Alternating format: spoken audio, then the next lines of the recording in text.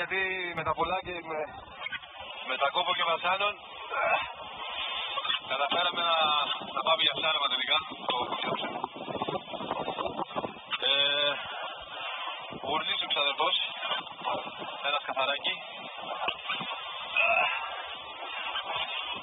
Δύο, νούμερο δύο, Σεναγρίδιον ε, Νεανής. Και βρήκαμε και τη θεία. Κοίτα η θεία, όπου. Να τη θεία. Λοιπόν, αυτή η θεία έφερε να δει τον ανιψό και τη βρήκαμε εμείς. Νίκο, κάνε μια σκέψη. Λοιπόν, τι έχεις να προσθέσεις; Τίποτα. Η δουλειά έγινε Με τα πολλά. με τα πολλά και από ό,τι είδα δεν έχεις χάσει τη φόρμα σου. Ε, έχω καλό όμως ε, παρτενέρ και καλό εξοπλισμό. Καλημέρα στην όμορφη Σιάτο και είμαι έτοιμος να γύρω στην Αθήνα τώρα. Ηθικό ρακμέωτος.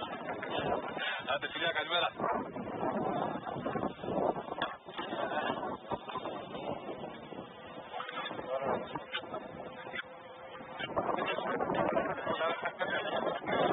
Έχω θέμα με το κουμπί.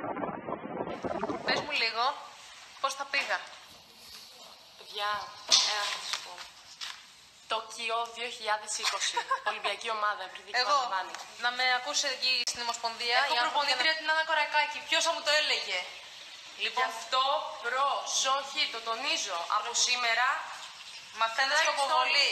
Μαθαίνω. Χα, χα, χα. και όχι τίποτα άλλο. Θέλαμε για το γύρισμα και καλά να δούμε πώς θα κάνω εγώ τη σκοποβολή. Από περιέργεια. Από περιέργεια και τελικά Και τι ανακαλύψαμε; δεν βγήκε καθόλου στημένο, παιδιά, είναι αλήθεια.